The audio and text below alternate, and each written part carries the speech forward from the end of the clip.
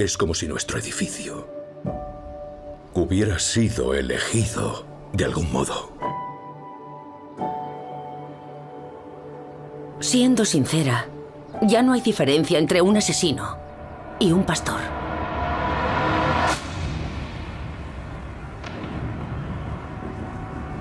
¿Cómo es el exterior?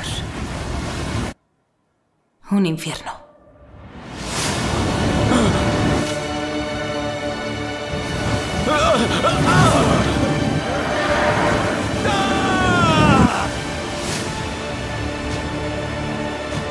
Si queremos proteger el edificio, los vecinos tendrán que implicarse.